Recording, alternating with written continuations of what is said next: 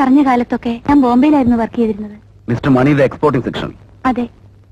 പക്ഷേ ഇതുപോലൊരു സൂയിസൈഡിനെ പറ്റിയോ റൊസാരിയോ എന്നൊരാളെ പറ്റിയോ എനിക്കൊന്നും അറിഞ്ഞൂടാ. ബോംബെ പോലൊരു സിറ്റിയിൽ അറിഞ്ഞോളന്നില്ല ആളെ പരിചയമില്ലെങ്കിൽ. ഇല്ല. എനിക്ക് അങ്ങനെ ഒരു വ്യക്തിയെ പറ്റി അറിവൊന്നുമില്ല.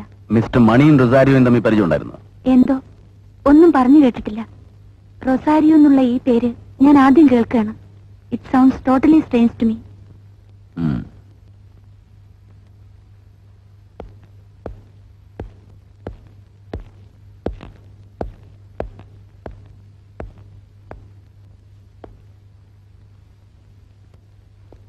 റൊസാരിയോയും മണിയും തമ്മിൽ പരിചയം ഉണ്ടായിരുന്നു എന്ന് ഞാൻ അന്വേഷിച്ചോളാം.